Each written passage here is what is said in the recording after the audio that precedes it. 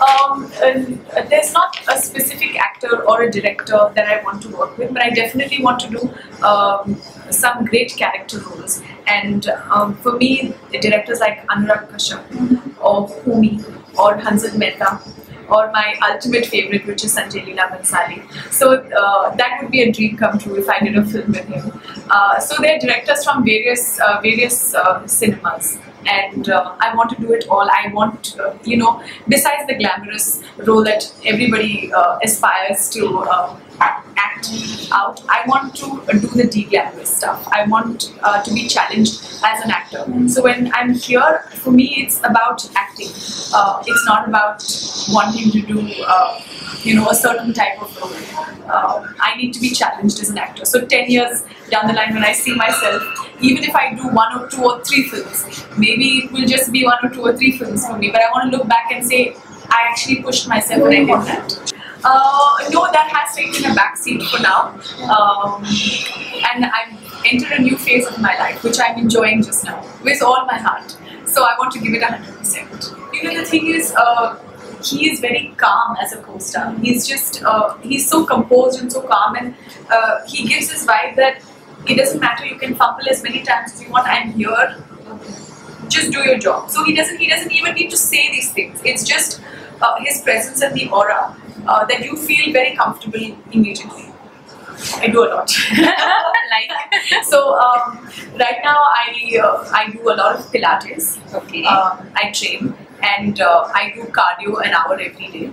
Uh, I make sure that I eat right. I don't believe in diets, so I don't believe in following a particular diet. But I I firmly believe in eating every two hours, and I tend to stay away from processed foods. So I I eat any food, but it needs to be uh, uh, available. Uh, Okay. A short fan. I didn't go through any training process, but as I think it's very important because when I did do a workshop, uh, it takes you back and uh, it's sort of you need to draw from certain emotions in life. To then you need to you need to have a, you need to go through a workshop because let's say they want you to be happy. Uh, okay, so they say, Waluscha, this scene you have to be happy. I can do it. I can, uh, but I'll be faking it unless I am able to go back to an emotion and a time in life when I was really happy and relive that moment. So to be able to relive that moment, uh, I need to meditate I need to learn how to bring that moment back into my present moment. Um, so that's the difference between somebody who's acting and someone who's actually feeling the emotion and bringing it to the character. Uh, there is Irfan Khan, uh, Deepika I really love.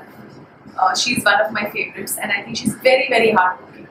So uh, she's somebody I admire. In actors, Ranveer Singh has over the over the course of the year grown on I think all of us. Uh, and uh, otherwise, like I said, Irfan Khan is something I really want to see myself working. I think I'll, um, the, the slate is very clean right now, uh, so I don't know where I uh, fit in. I will find my uh, little uh, cushy corner in space, but I'm not looking to compete with anyone. I think there's enough of uh, there's enough for everyone, uh, and each of us have a different uh, path. I'm so raw to this uh, entire uh, experience that I'm having that I'm enjoying it. But yes, like you said, there is a little pressure to you know uh, up it. How does one up it? How does one up the game from here? But already exactly. Yeah. So if I can be both things at one and we wear many hats, we are not just one thing. We are we can be ten things at the same time and Yeah. give equally to ten to ten areas at time. Fortunately, um, I've got very strong uh, strong uh, kids. I think they take from me. So it doesn't matter what life throws your way, you have to deal with it. And acceptance is a big part of it. So instead of fighting and saying, why is this happening to me in my life and why, you know, I had a dream and it, it shouldn't have ended up like this. Instead of fighting that, you accept it and say, you know, this is my journey and there is a reason why things happen. So it's something I also inculcate in, uh, in my children. So they will also grow up to be strong individuals who will have a career and run a house at the same time. Um, I don't get angry so soon. I don't get angry so easily. Don't. I take life as it comes. So um, it's very difficult to get me angry. I think, but most things that annoy me are people who are fake. So fake people, I don't surround myself with people who I feel are fake. Uh, so I think there are very, very small steps that each of us take. And one of the most important steps is, like I said, acceptance. And uh, once that falls into place, uh, everything else sort of also uh, tends to fall into place. And uh, women today can have a career and they can also run a house and they can also look after their children and they can do all of this single-handedly. And it is being done more and more so uh, in our country to inspire uh, uh, some women at least uh, in, in small small ways. And let's see where this journey takes me and if I'm able to inspire them on a larger platform but I should write um, I don't write but perhaps I might write a book someday about my journey and uh, it would uh, it would be a book on again pos positivity and uh, uh, facing anything that life throws your way.